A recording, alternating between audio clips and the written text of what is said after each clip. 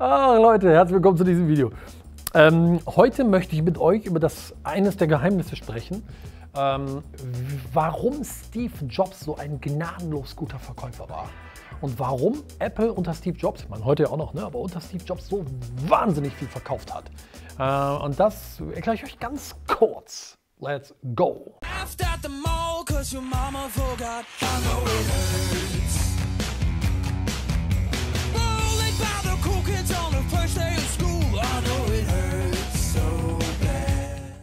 Also, wenn du dir das mal anguckst, was Steve Jobs eigentlich damals gemacht hat, wenn du dir das auf diesen ähm, Apple-Präsentationen anschaust, die er damals in einem Head Office ja immer gemacht hat, immer wenn neue Produktneuheiten rauskamen, dann hat er etwas getan, was du so gar nicht mitkriegst, wenn du das dir ansiehst. Aber es war so gut überlegt und es ist verkäuferisch einfach brillant. Und zwar, er hat einen sogenannten Twitter-tauglichen Slogan verwendet. Was ist das? Ähm, Twitter-tauglicher Slogan. Früher konntest du bei Twitter ja nur sehr begrenzt Dinge tweeten, ne? also äh, irgendwas schreiben. Und sehr begrenzt heißt, es hatte 140 Zeichen, mehr war das nicht. Und jetzt hat Steve Jobs sich nicht überlegt, oh, ich mache das wie Twitter, aber er hat sich überlegt, für jedes Produkt, was er herausbringt, braucht er eine Kernmessage.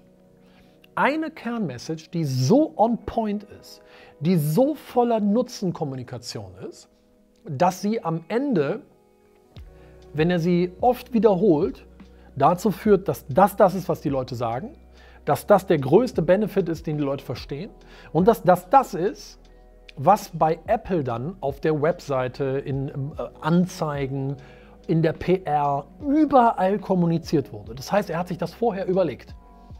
Und jetzt könntest du auch sagen, ja okay, so ein Twitter-tauglicher Slogan oder das, was er sich da überlegt hat, war im Prinzip sein Pitch-Satz. Sein absoluter Pitch-Satz. Und glaub mir, die Dinger saßen.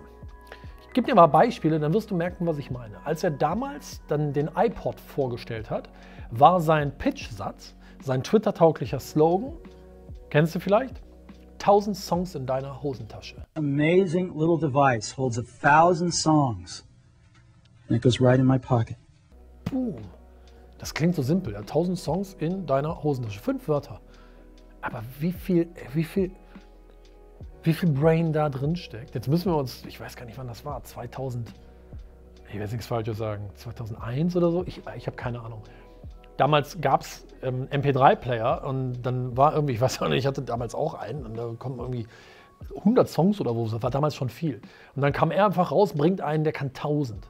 Und deswegen war das damals einfach so, wow, 1000 Songs in einer Hosentasche. Oder beim MacBook, ähm, beim MacBook Air damals, glaube ich, ich kriege den Satz jetzt nicht 100% on point zusammen, aber er war so mehr oder weniger ähm, das dünnste MacBook der Welt. So dünn, es passt sogar in einen Briefumschlag. Irgendwie so. Was können wir daraus lernen? Boah, eine ganze Menge. Dein Angebot, was du vermarkten möchtest wenn du das per Online-Marketing vermarkten möchtest. Das heißt, du hast Werbeanzeigen, du hast Opt-in-Seiten, du hast E-Mails, du hast Verkaufsseiten, du hast Verkaufsgespräche, auch offline, dann hilft es, dass auch du dir einen sogenannten Twitter-tauglichen Slogan überleg, überlegst. Nochmal, äh, der muss nicht auf 140 Zeichen reduziert sein, aber mh, mm, er sollte die, die, die Hauptbenefits super kristallklar auf den Punkt liefern. Wie geht das? Was brauchst du dafür? Hm. Schau, das, was du brauchst, ist das, was ich immer ja wie folgt versuche darzustellen. Du brauchst dafür Zielgruppenwissen. Je besser du deine Zielgruppe kennst, umso besser wirst du darin sein, solche Dinge zu formulieren. Und die Aufgabe dieses, solch, solch eines Satzes, solch eines Pitch-Satzes ist es, Resonanz herzustellen. Resonanz. Was ist Resonanz? Resonanz ist, dass deine Zielgruppe über die Distanz auf einem Bildschirm oder irgendwo lesen sie es, keine Ahnung wo, sagt, öh, das ist aber interessant, die reagieren. Resonanz, da, da entsteht was, so, oh. Und sie reagieren und tun im besten Falle das, was du willst. Klick hier, trag dich da ein, kauf jetzt.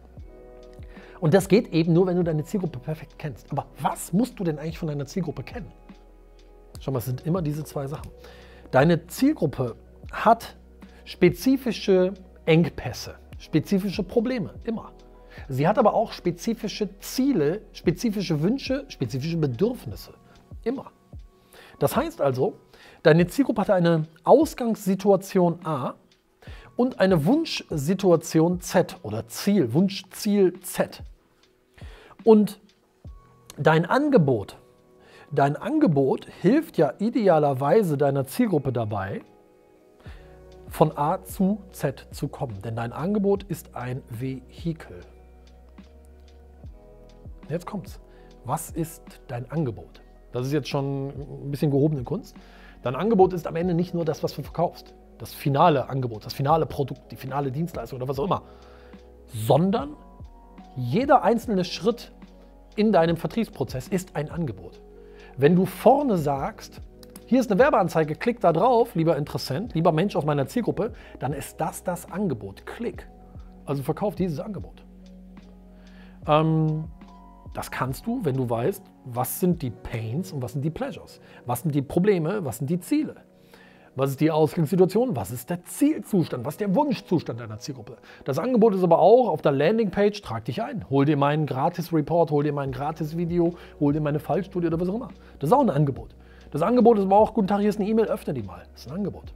Verkaufe immer diesen Schritt. Das kannst du umso besser, je besser du eben die Schmerzpunkte deiner Zielgruppe, aber auch die, die Freudepunkte deiner Zielgruppe genau kennst.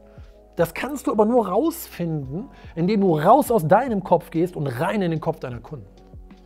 Weil du musst mit deiner Zielgruppe sprechen. Du musst wirklich mit dem echten Markt da draußen reden, um das herauszufinden und das nicht irgendwie isoliert in einem stillen Kämmerlein ähm, äh, versuchen zu raten oder zu antizipieren. Das wird in der Regel in die Hose gehen. So, und jetzt kommt's. Je besser du das kennst, desto besser bist du dann auch in der Lage, deinen Pitch-Satz oder generell deinen Pitch zu formulieren. Das muss ja nicht nur ein Satz sein, das können auch eins, zwei, drei Dinge sein, wo du sagst, hey, mach jetzt das und ich verspreche dir, deine Vorteile sind eins, zwei, drei. Das kannst du machen. Mm, es sollte nur nicht ausufern, du sollst nicht jetzt zehn Minuten darüber reden, sondern relativ schnell auf den Punkt bringen. Denk so ein bisschen an so einen Elevator-Pitch, wo du äh, sinngemäß 20 Sekunden Zeit hast, während so einer Aufzugfahrt jemanden davon zu überzeugen, das zu tun, was du willst. Und da war Steve Jobs gnadenlos, gnadenlos gut drin. Also, schau dir mal die Präsentationen von damals an, von Steve Jobs zum iPhone, zum iPad, zum iPod, whatever. Der hatte immer so einen Twitter-tauglichen Slogan, weil er genau wusste, meine Main Message, mein Hauptbenefit, der muss so on point sein, weil das ist das, was die Leute behalten. Das ist das, was die Leute behalten. Und dann hat er natürlich generalstabsmäßig das geplant. Er hat es auf der Bühne gesagt, in der Sekunde schaltete die Webseite um von Apple und wumm, stand dieser Twitter-taugliche Slogan da. Vorher haben natürlich die gesamte Fachpresse PR-Artikel bekommen, mit der Information, Achtung, erst an diesem Datum, diese Uhrzeit veröffentlichen. Rat mal, was vorgeschrieben in diesen Presseartikeln drin stand. Dieser Twitter-taugliche Slogan. Da können wir doch so viel von lernen. Steve Jobs war ein Genie. Lass uns doch das Geschenk annehmen, was er uns gemacht hat, das zu verstehen und dann zu lernen und nachzumachen. Also, mein Tipp an dich, abschließend hier aus diesem Video ist, Überlege dir deinen Twitter-tauglichen Slogan. Müssen nicht 140 Zeichen sein, können auch länger sein, kann ein Satz sein, können drei Sätze sein, drei Benefits, die du kommunizierst, aber nicht mehr. Nie mehr als drei. So, sonst das können die Menschen nicht behalten. Ähm, und kenne dafür deine Zielgruppe. Kenne die, ähm, die Weg von Situation, was wollen sie nicht mehr, und kenne die Hinzu Situation, was wollen sie. Und je besser du das kennst, desto mehr Menschen werden reagieren und das tun, was du willst. Weil wenn ich dein Problem besser beschreiben kann als du selber, dann wirst du automatisch glauben, dass ich es für dich lösen kann. Wenn ich deinen Wunsch besser beschreiben kann als du selber, dann wirst du automatisch glauben, dass ich dir helfen kann, ihn zu erfüllen. That's it. Also, wenn dir das gefallen hat, ähm, hinterlass mir gerne mal deinen Kommentar hier unter dem Video, was du dazu denkst. Gib mir einen Daumen nach oben bitte, das würde mich total freuen und abonniere natürlich hier diesen Kanal.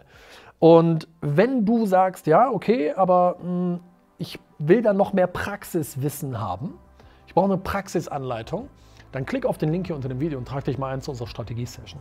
Strategie-Session ist ganz einfach. Wir telefonieren 30 Minuten miteinander. Das Ganze ist gratis für dich. Aber du hast drei Vorteile. Erstens, wie du deine Kundengewinnung maximal automatisieren kannst.